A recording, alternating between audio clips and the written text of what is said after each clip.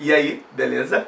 Sejam bem-vindos à Central Madureira de Produções. Meu nome é Luiz Felipe e hoje eu estou trazendo para vocês uma resenha do meu mais novo queridinho, um dos perfumes que eu recebi nesse mês de julho e que foi uma surpresa, assim, na verdade foi um blind que eu dei.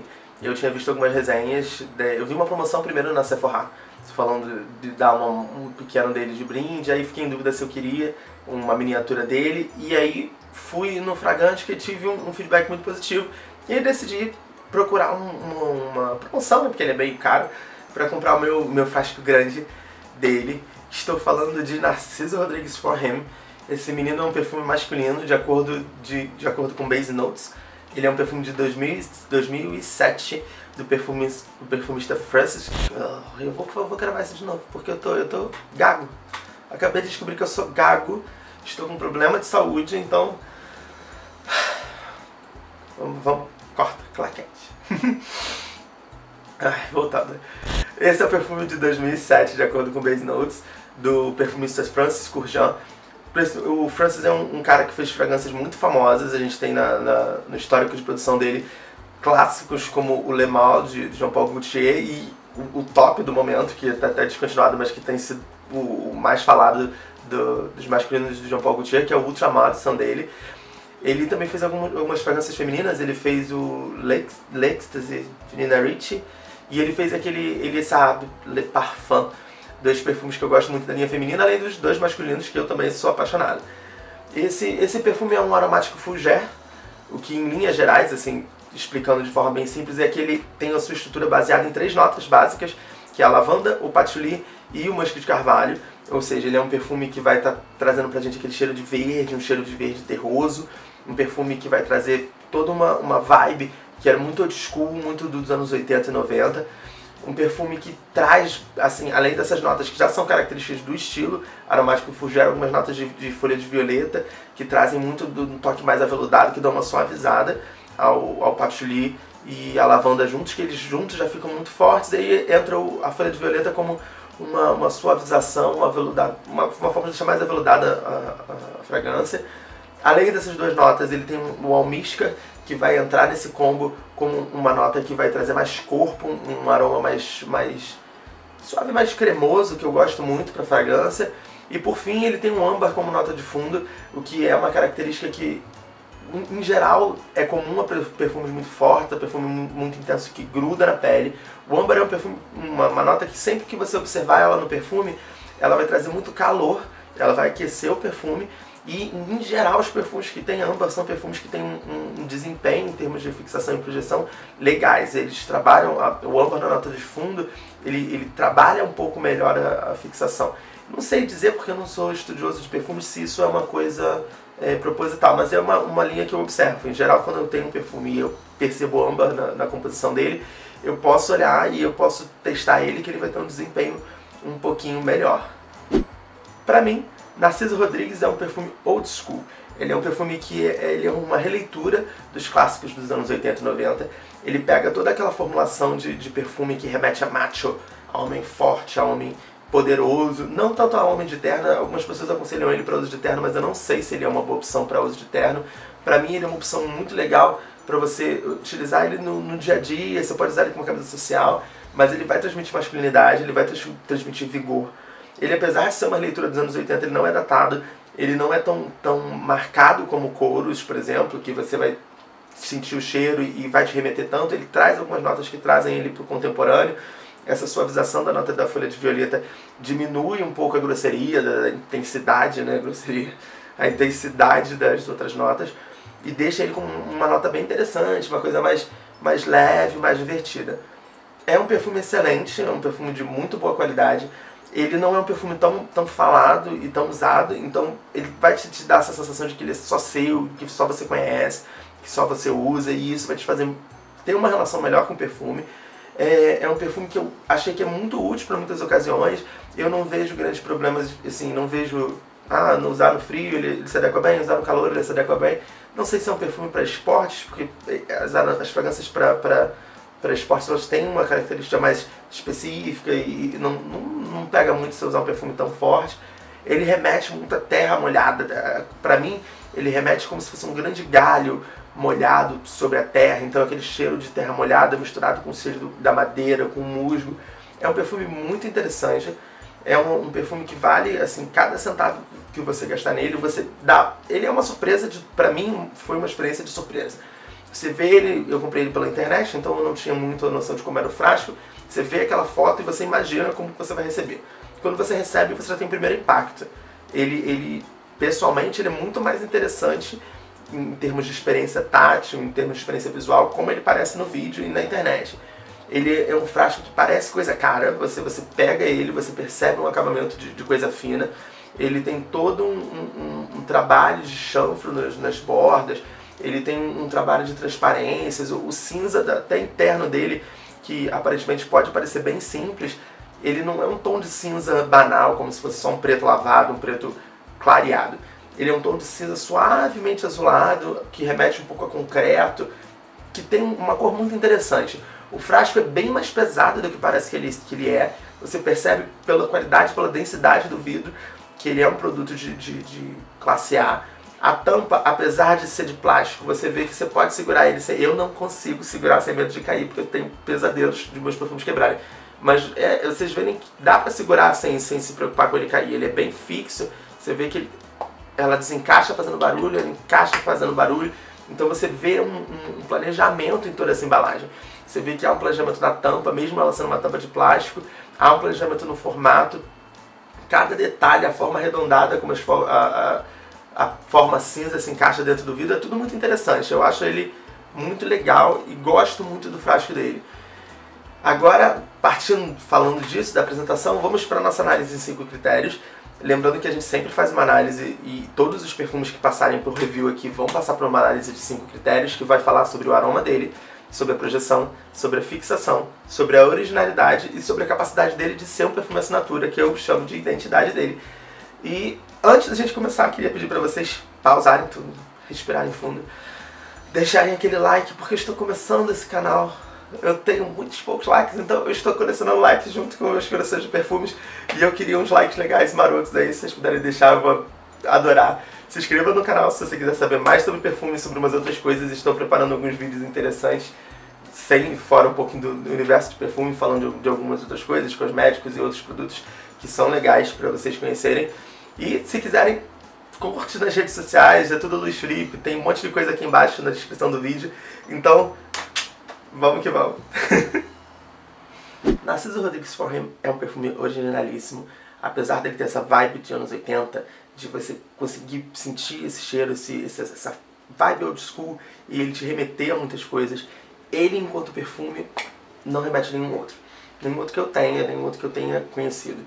Talvez tenha algum por aí, mas acho bem pouco provável. Eu fiz algumas pesquisas e eu não consegui achar nenhuma referência, além de do próprias outras versões do Narciso Rodrigues For Him, de outras, outras ou intensidades, ou ADT, ou, ou intensa, que falem dele e que remetam a ele. Eu não consigo identificar nenhuma outra fragrância que tenha esse DNA e que seja similar a ele. É um perfume de poucas notas, é um perfume de 5 a 6 notas, se não me engano, acho que são 5 e que estão todas muito bem trabalhadas e se apresentam de forma muito única e que se complementam entre si, trazendo uma experiência muito legal para quem está usando. Então, para mim, Narciso Rodrigues For Him ganha 5 estrelinhas de originalidade. Em termos de fixação, é um perfume que também ganha 5 estrelas, ele tem uma fixação incrível. É um perfume para você passar de manhã e à noite ainda tá cheiroso. Ele tem uma fixação que gruda no cabelo, gruda na roupa, gruda em você se você estiver passando ele, ele e alguém passar e passar a mão e você passar com a sua mão em alguma coisa, ele vai ficar. Eu tenho muito hábito de fazer cheirar e às vezes passar o dedinho para sentir, e às vezes a minha mão fica com o cheiro desse perfume por mais tempo, porque eu tive esse contato com ele, e fragrância em geral na mão não fica muito, porque a gente encosta em outras coisas, a mão é especialmente gordurenta, então é difícil ter algum cheiro que grude na mão, e Narciso Rodrigues gruda até nas mãos. É um, um, um perfume que em termos de projeção ele não tem uma projeção muito grande, então eu não vou poder dizer que ele tem 5 estrelinhas, ele não tem 5 estrelinhas para projeção, para mim ele para no, no 4, 4,5 se eu for é, generoso no 4,5, tá? Para mim para no 4 mesmo. Por quê? Porque é um, um, perfume que ele vai projetar, ele vai projetar, mas ele não vai projetar muito mais que um metro, um metro e meio. Ele vai ser um perfume mais discreto, você vai, ter, você vai poder usar ele em situações onde você tem que ser mais discreto, que você não pode ter um perfume que ocupe todo o espaço e que todo mundo perceba. Então ele vai estar tá projetando por um período bom. Ele nas primeiras três horas ele projeta um metro, um metro e meio, depois de, daí até o final, é da, assim, vamos botar nove horas.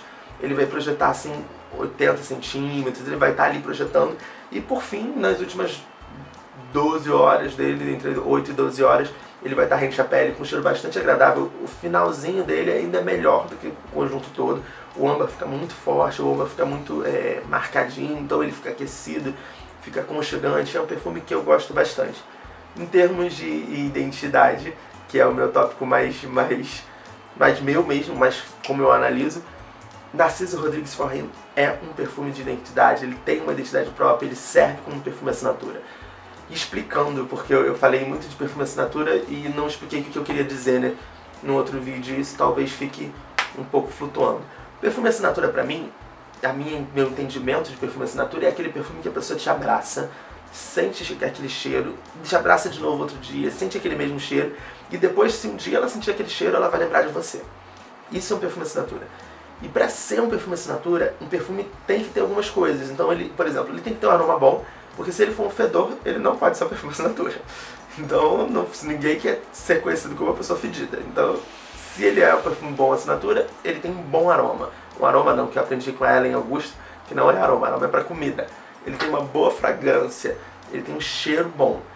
É, se ele tem um cheiro bom, ele pode ser perfume assinatura. Ele tem que ter uma projeção, é, no mínimo, pequena. Ele tem que ter uma projeção no mínimo mediana. Para que a pessoa que chegar perto sinta seu cheiro. Para ele ser assinatura e as pessoas te reconhecerem, ele tem que projetar pelo menos um pouquinho.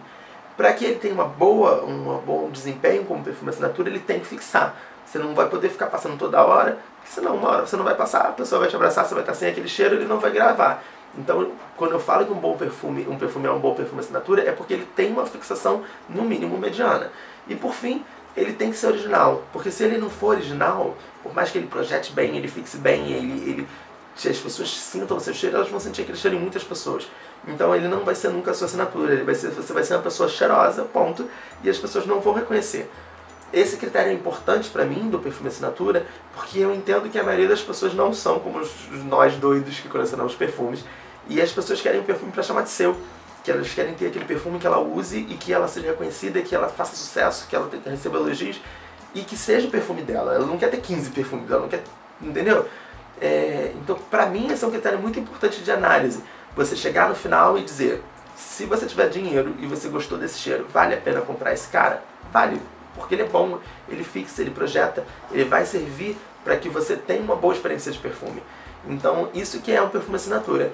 Em geral, ele vai vir no final da análise e, assim, para mim, quando eu falo de perfume assinatura no final, eu estou dizendo, batendo um martelo dentro do que eu acredito, do que eu sinto com esse perfume, se vale a pena comprar ele ou não, se você estiver procurando um perfume para você. Então, toda vez que a gente chegar no final da análise e eu perguntar para vocês, vale para ser perfume assinatura? Se eu disser sim, é porque eu aconselho que vocês sintam o cheiro e escolham através do cheiro, se vocês gostarem, se vocês vão comprar ele ou não. Se eu disser para vocês que não vale a pena como perfume assinatura, é, é a minha forma de indicar para vocês que por mais que vocês sintam e gostem do cheiro, ele não pode ser um perfume único, ele não vai ser aquele seu perfume, ele vai ser um cheirinho, ele vai ser uma coisa que você usa para se sentir bem e não um perfume para você usar e para você ser reconhecido por ele, para que ele seja o seu perfume, entendeu? É, é mais ou menos essa é ideia. Ou ele é um perfume top para ser o seu, ou ele não é. para mim, Narciso Rodrigues é um perfume que eu uso nos dias onde eu quero me sentir macho man, onde eu estou querendo usar um perfume que me faça, me remeta a todas as, as minhas características masculinas, onde eu quero estar cheirando a homem, onde eu quero chegar num, num, lugar e ter uma presença marcada, porém não muito invasiva. É um perfume que eu quero usar, quando eu, que eu uso quando eu quero ser levado a sério. É um perfume que eu uso quando eu quero parecer um homem adulto e quero mostrar para as pessoas que eu sou uma pessoa responsável e respeitável. É um perfume que vale muito a pena. Apesar de ele não ser um, um perfume que está do lado dos baratinhos, ele não é um perfume baratinho, ele vale cada gota, cada centavo que você pagar nele. Você vai ver que o dinheiro que você consome nele tá gasto na embalagem que você tem, na tampa. Não é uma coisa que você está só comprando uma marca ou você está só comprando um label. Você está comprando um perfume de excelente qualidade, num frasco de excelente qualidade, com uma tampa de excelente qualidade, que vai ser resistente à queda. É um, é um frasco que vale a pena, é um produto que vale a pena. Então, espero que vocês tenham tido uma boa experiência com ele, porque eu amei. Se você tem dúvidas, eu não aconselho um blind, comprar ele assim no escuro e, e, e ver do que dá igual eu fiz. Eu comprei porque eu já conhecia as notas, eu já sabia que provavelmente eu ia ter uma boa experiência com eles. Mas se você ainda não tem essa certeza, passa em algum lugar, sente o cheiro dele, pede uma fita olfativa, experimenta aquela fita olfativa durante um dia inteiro. Hum, que perfume gostoso. cheira ele de manhã, ele de manhã não, cheira ele, ele na hora que você tirar na fita, sente as notas de topo, dá um descanso para ele de umas 4 horas, cheira de novo para sentir mais o corpo dele. Depois deixa ele descansar mais um pouquinho para sentir as notas de fundo. E você vai ter uma experiência completa de alta qualidade de perfumaria. E que para mim, assim, em termos de perfume de designer, é um dos melhores perfumes masculinos que eu tenho hoje no mercado, assim, que tem muita coisa boa, na realidade nós temos muitas opções boas, mas Narciso Rodrigues é uma dessas opções. Espero que vocês tenham curtido a resenha, lembrando sempre que eu estarei aqui pelo menos uma vez na semana, a semana não for tão complicada, que essa semana foi uma semana boa, foi uma semana cheia de coisas maravilhosas, de realizações incríveis, mas que ocuparam todo o meu tempo, né? Vou gravar mais vídeos hoje, já estou sentando, já estou me organizando com mais três pautas para que gente tenha vídeo pelo menos para as próximas semanas eu não fico furando com vocês. Espero que vocês tenham curtido. Deixa seu joinha, deixa seu like, se inscreve no canal e é isso. Até a próxima. E aí, beleza? Meu nome é Luiz Felipe. Eu sou Luiz Felipe. É o novo tipo de nome que eu tenho agora. Ai, gente, isso é muito difícil. Olha, eu tenho um novo respeito por youtubers. Até coisas simples como começar o vídeo podem ser muito chatas. Então, vamos de novo pela quinquagésima vez. Um, dois, três. Tem um mosquito aqui. Um, dois, três, gravando. Se essa porcaria desse mosquito aparecer no vídeo...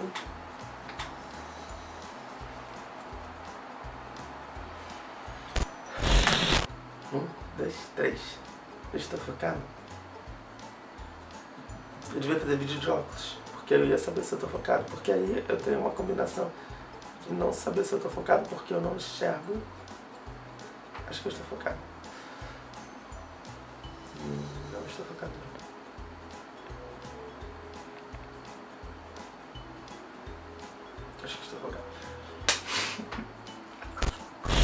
Porque vocês não cumpriram o nosso acordo de aparecer nos vídeos todos.